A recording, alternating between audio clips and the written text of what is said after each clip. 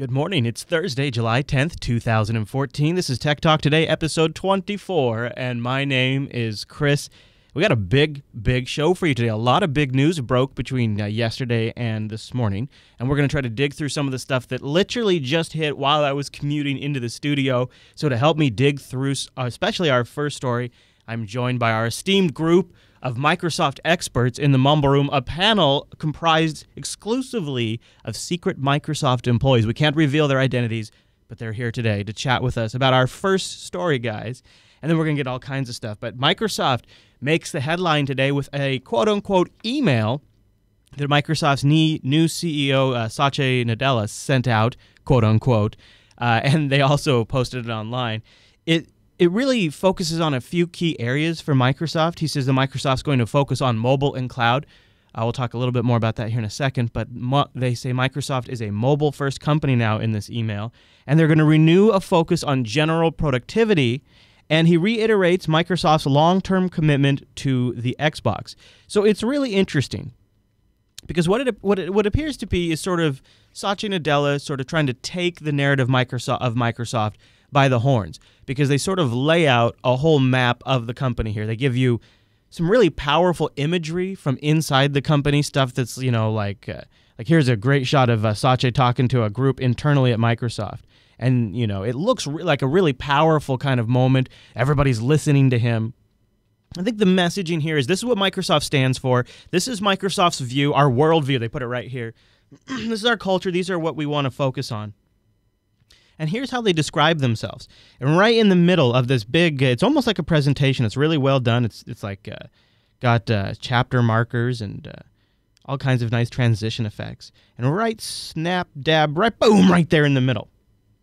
They say our core, and they have a they have an illustration of what the new Microsoft is built of. It's kind of funny because if you've been following the new Fedora Core stuff, it kind of reminded me a little bit of that. But they have Cloud OS around one ring, and then Device OS and hardware around the bottom ring, and then digital work and life experiences right there in the middle. Whoa, right there in the middle. Here's how they describe themselves. They say Microsoft is the product productivity and platform company for mobile first and cloud first world. We will reinvent productivity to empower every person and every organization on the planet to do more and achieve more. Now, that's pretty bold. First of all, it says the company with the largest desktop market penetration isn't a desktop company, they're a mobile and cloud first company. Now, I do take some issue just from like a general something I always kind of rib Microsoft about is even when they're trying so hard, they do seem to lack some level of focus. Because if I was going to be technical, how can you be mobile first and cloud first? If they're both mobile and cloud first, then they're both 50 50. And then neither one of them is first, right? You're either mobile first or cloud first, right? Aren't you? Good point, yeah. I mean, I know I'm being I'm, I'm, quibbling, but that's just it. Kind of to me illustrates like this is them trying to be bold and artistic. You know, they've bolded certain words and they've artsied it up and gave it a nice font. But then when you actually read the words there, it's like ah, actually doesn't. Uh, kind of actually says you don't have focus. that's actually what it says. But it's okay. I'm just quibbling. Um, I think what I did really like out of everything in this email, which I thought was pretty interesting, they talk about Cloud OS. They say our Cloud OS represents the largest opportunity given. Uh, we are given. We are working from a position of strength here with Azure. We are one of the very few cloud vendors that runs at hyperscale. The combination of Azure and Windows Server makes us the only company with a public, private, and hybrid cloud platform that can power modern businesses. That's debatable, but it's an, it's they are in a very interesting position there. Uh, later on, but here's the part that they talk about towards the bottom after they talk about culture and a bit, and you know it's all very good stuff. It's all culture this, Microsoft that. Uh, you know we we love our people and all that kind of stuff. But then he wraps it with something that's very true, and I believe what is actually Satya Nadella's internal yardstick for how he's doing as a CEO, because investors and employees and the tech press they'll all they all have their own yardsticks for how they're going to decide if Satya Nadella is a success or a failure. I hope and I believe Satya Nadella's internal yardstick is laid out in one of the last paragraphs in this email. he says, Finally, every team across Microsoft must find ways to simplify and move faster, more efficiently. We will increase the fluidity of information and ideas by taking actions to flatten the organization and develop a leaner business process. I think anybody who's followed Microsoft for a long time, and I feel because I do have several friends and I've had family members who work at Microsoft, I have some insights into what hinders them in some cases. And we see it as a public too.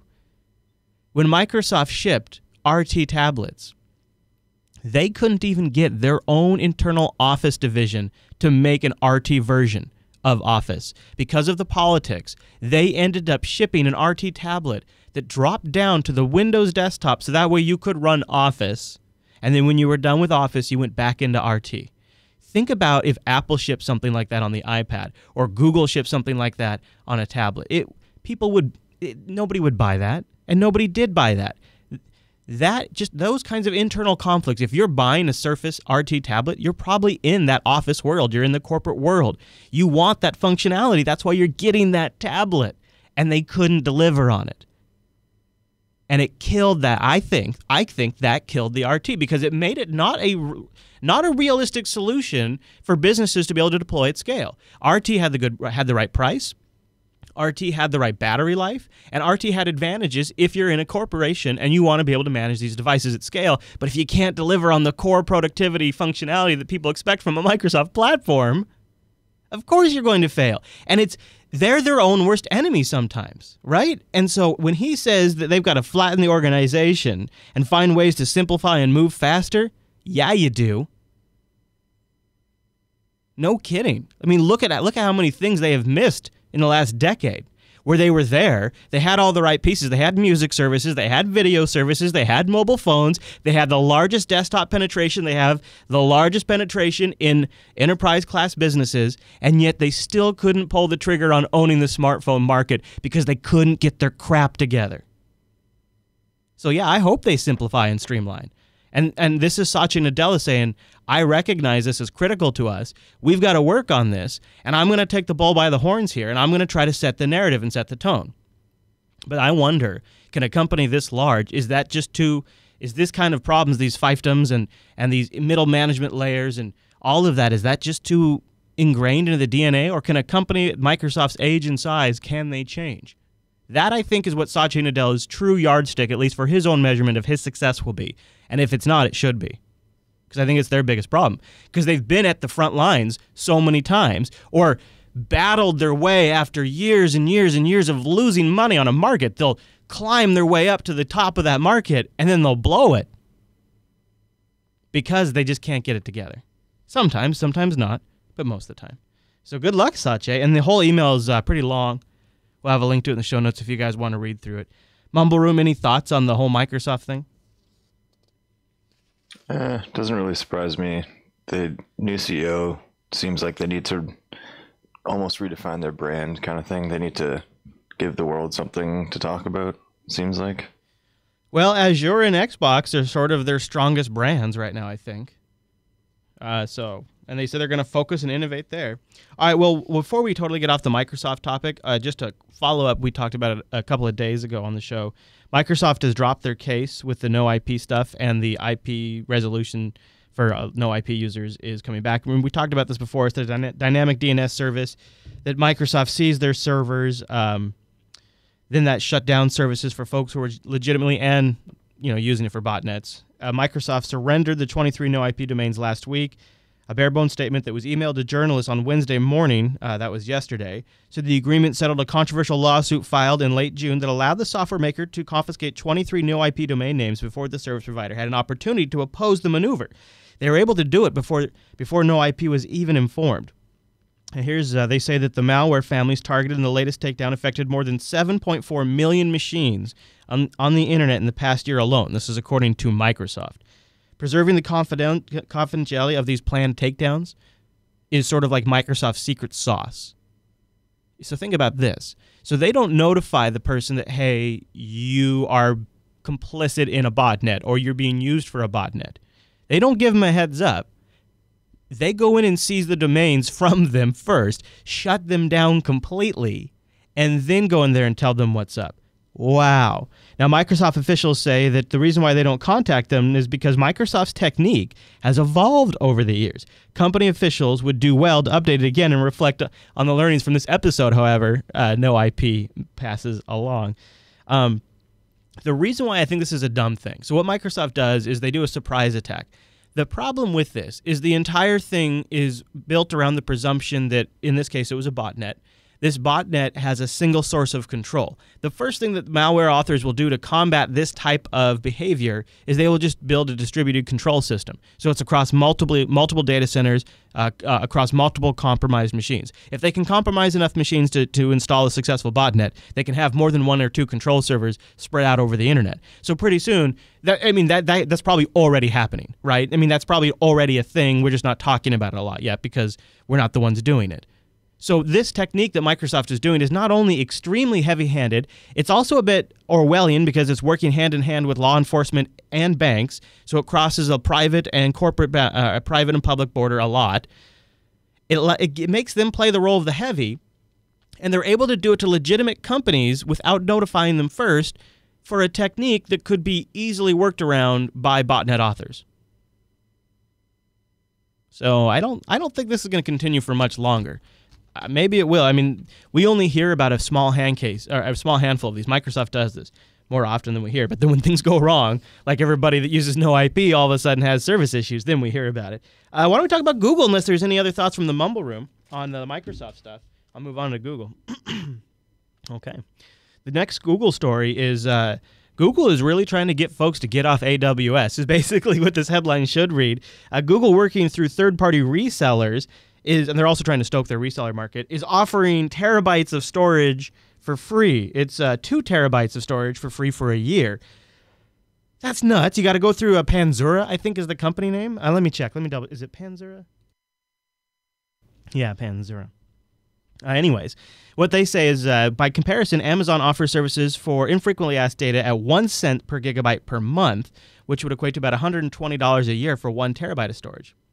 If you look at the Azure side, well, then they could. You if you're a business, you can get a terabyte for free. Um, or like if you and then after the promo period, then it's like 2.4 cents a gigabyte per month.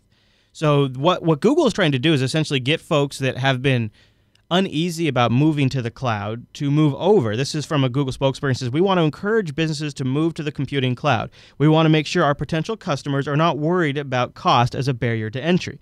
Now, privacy, let's not bring that up. Uh, there are free offers out there for gigabytes of storage, but terabytes is where it starts to get interesting for companies. So they're doing terabytes for free. And if you need it and you want to get in on that, I wanted to pass that along because I don't know how long that offer is going to be around. One last Google story, too, before we move off of Google. Uh, Chromecast mirroring is now actually a thing.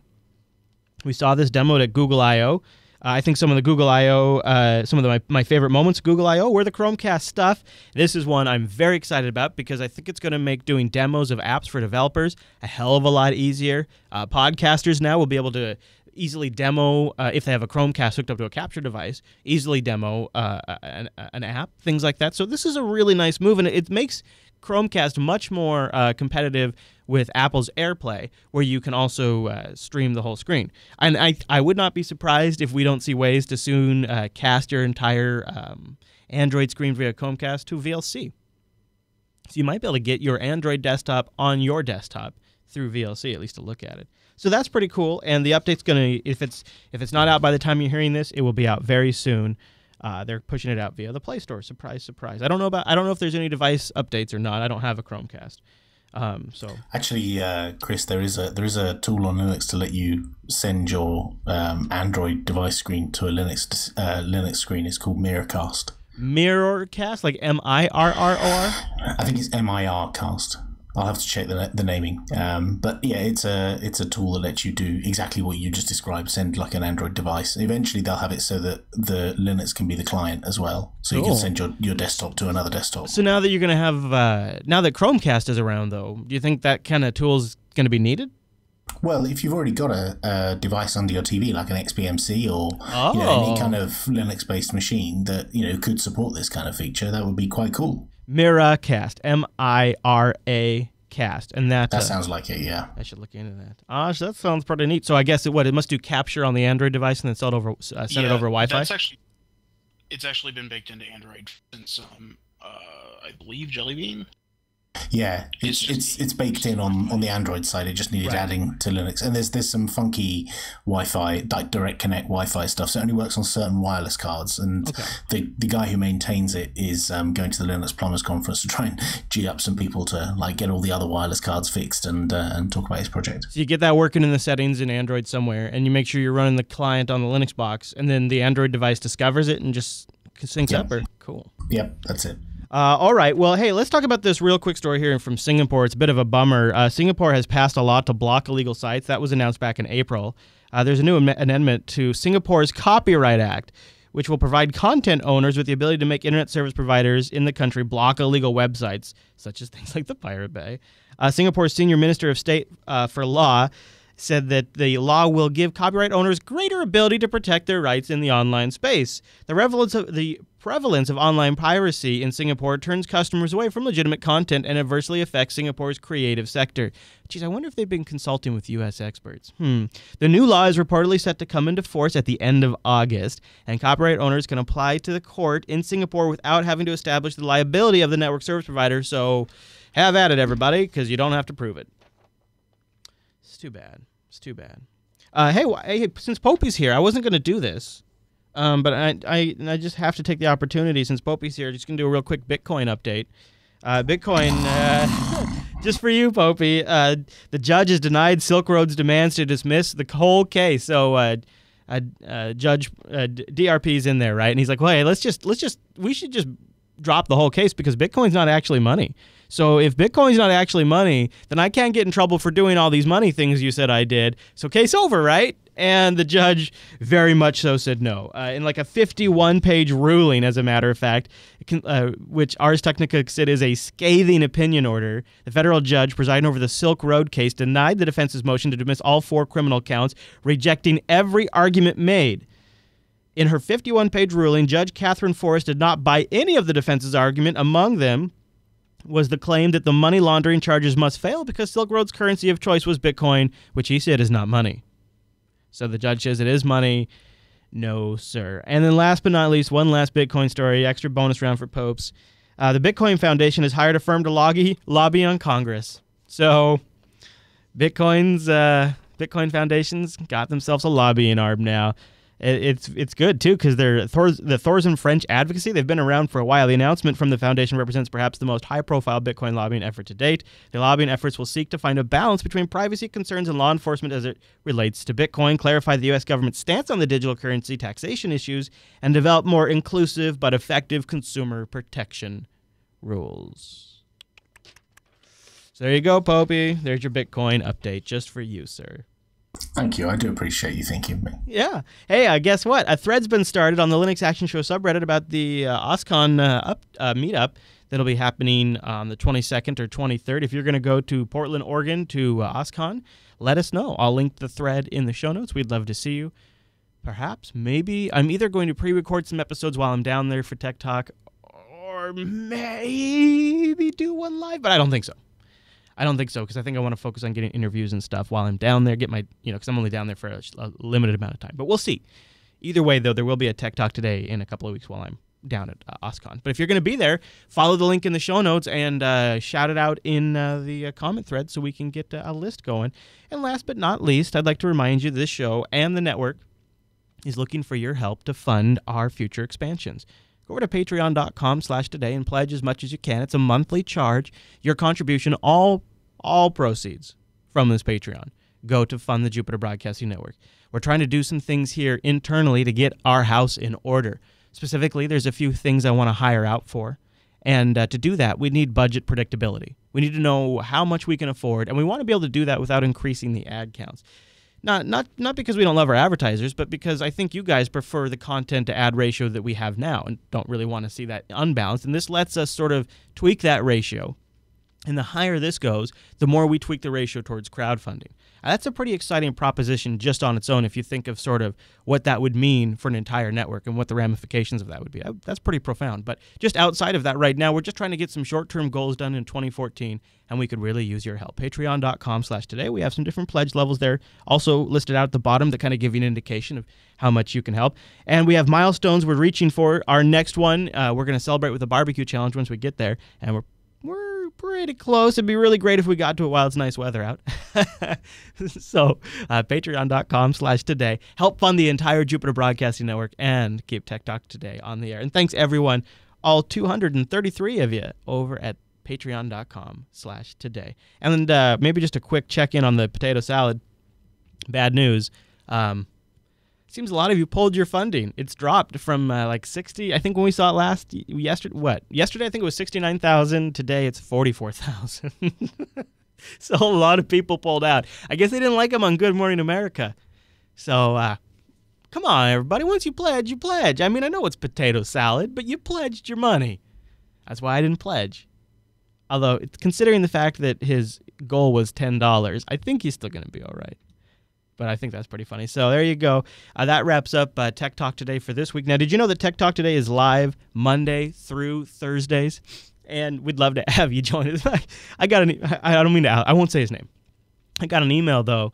The guy was kind of upset that uh, he tuned in on Friday and I wasn't here. And he's like, "Well, what the heck, man? If you're not going to be live, you got to let us know." No, I'm never live on Fridays. I try not to do any shows on Friday because I got the business to take care. Of. I got business. So this is a, this is a Monday through Thursday uh, proposition. But I'd love to have you there Monday through Thursday, jblive.tv, 9 a.m. Pacific, noon Eastern. You can go to jupiterbroadcasting.com slash calendar, and our robot will just auto-convert it to your crazy time zone. Wherever your monkey time is, the robots will take care of it. They don't care. They don't judge like I do. That's why I have them do it. You can also send your thoughts into the show. Click the contact link over at jupiterbroadcasting.com, or even better, techtalktoday.reddit.com. Let me know what you want to hear about. If uh, you want more Bitcoin stories, just like Popey does, submit them to the Tech Talk Today subreddit or vote them up or down. Or if you don't want them, vote them down. If you don't want us talking about CISPA, don't submit it and, or vote it down, etc., etc. All of that, I take that as sort of a temperature of what you guys want to talk about, and it's a great resource. I check it every single morning. TechTalkToday.reddit.com, and you can contact me, Chris LAS, on Twitter. Boom, I covered all the bases right there. So, uh, in in sort of uh, solidarity for Angela, my wife, who got a really nasty bug bite on a on a walk she was on yesterday. I got a product for her that will solve her problem. So if you're going to go out, it's beautiful here in the Pacific Northwest. If you're going to go out for a walk, make sure you take care of them bugs. I said take care of them bugs. She needs off. It's the mosquito repellent that really works. And here's proof. Look at those hungry mosquitoes go for this research man's arm. Now, a quick application of off. And look, they don't bite, they don't even light. Yes, with off insect repellent, they don't bite. They don't even light. So get OFF, off, the insect repellent that really works.